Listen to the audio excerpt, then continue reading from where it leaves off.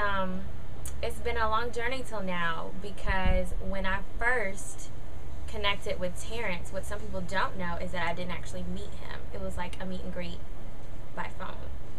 And so to be praying and to be um, just seeking the Lord about something, it's like a distance producer artist relationship. And that can be difficult when people looking at me like, you about to drive where?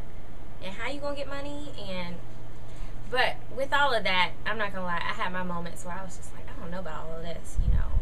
This might not be it. But I'm really, really um, thankful that through the encouragement of my community and how God has been confirming His will, I'm glad because it's so worth it being here for the first take. We're not even done with the first song, instrumentally wise. I just love the connection here. That's what makes me happy. You can't pay somebody to be somebody you like. Just doesn't work like that. You can't pay somebody to have a good vibe or to make you comfortable. You can't.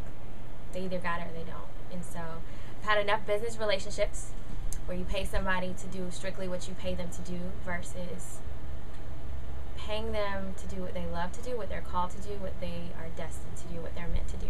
So this is great. I forgot for a second that I was working. I was really having fun. And I love that. I love, love, love that. Ah! Yeah. we there. We right there. Like right there. I'm just so happy right now.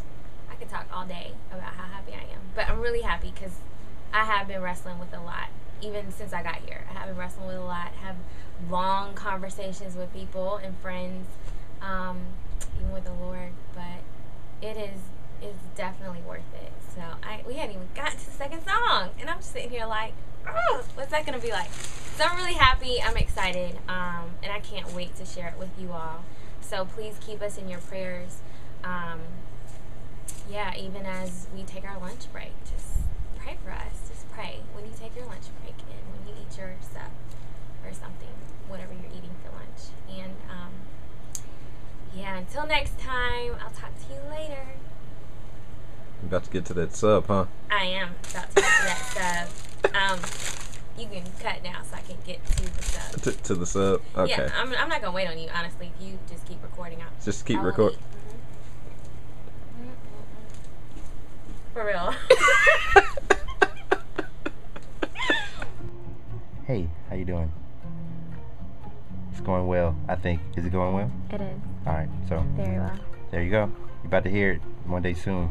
X-Men Productions, The Rock Studios, PearlProjects.org. Real quick, if you didn't know who X-Men Productions were or had no idea, you will after this. There you go. It's coming. It's coming. It's coming. Yeah, that's all I'm saying. Yeah, dirty, South. dirty South. It's coming. Yeah. That's all I'm saying.